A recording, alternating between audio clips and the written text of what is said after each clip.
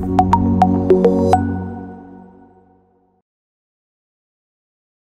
Questa è l'edizione del 2018 per quanto riguarda i comuni ricicloni, come stiamo messi? C'è un miglioramento? Sono 11 comuni in più che passano il traguardo del 65%, sono 238 in tutto, in Campania i comuni ricicloni, bisogna ripartire da questi, bisogna eh, moltiplicare le buone pratiche, ma per farlo c'è bisogno di una governanza autorevole, c'è bisogno della politica che si metta a capo di un processo per andare oltre le leggi necessarie ma per applicarle queste leggi, allora c'è bisogno di far ripartire gli enti d'ambito per mettere in campo eh, soluzioni collegiali attraverso i, i sindaci e gli enti comunali ma anche attraverso la partecipazione delle comunità. E lo ribadiamo gli impianti che servono sono gli impianti di compostaggio, gli impianti che trattano la frazione organica e non gli impianti di incenerimento. E non serve alla campagna nemmeno la quarta linea della Cerra. Se la risposta della politica regionale al duello nazionale è quella della quarta linea continuiamo a far salire lo spread dei rifiuti e quindi a creare caos nel ciclo dei rifiuti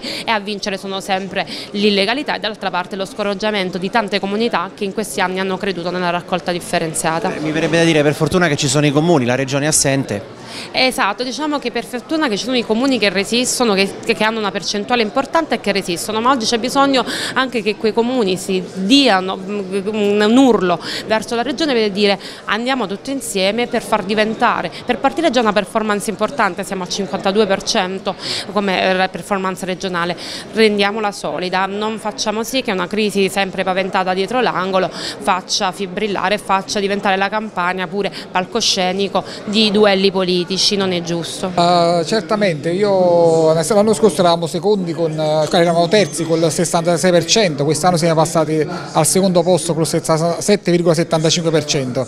Un grazie a tutti i cittadini che sono impegnati uh, con passione per raggiungere questo risultato. C'è però un aspetto, eh, non la invidio come assessore all'ambiente perché noi praticamente abbiamo il calendario di quello che succederà da qui ai prossimi mesi il termovalorizzatore, insomma veramente siamo su caratteri di emergenzialità cercheremo di far fronte a queste emergenze, proprio in, momenti, in questo momento al Comune ci stanno riunioni con tutti diciamo, gli organi impegnati, tutte le, persone impegnate questo, su questo fronte. Uh, dobbiamo fare in modo, ripeto, c'è bisogno dell'impegno di tutti, dobbiamo fare in modo che questa parte indifferenziata, questo rifiuto uh, diminuisca sempre di più e quindi la parte nobile sia quindi, uh, sempre quindi maggiori, quindi in modo da, da, da, diciamo, da anche anche un ristoro dal, punto di vista economico. Avete immaginato anche però tra amministrazioni di consorziarvi un aiuto reciproco per poter poter trovare dei siti magari extracomunali, perché qui l'Unione fa la forza anche nelle decisioni regionali. Il problema è che eh, quando eh, diciamo, vengono, vengono, meno delle, dei siti cosiddetti pubblici, tipo lo sito di Battipaglia, siamo gioco forza costretti a rivolgerci ai privati.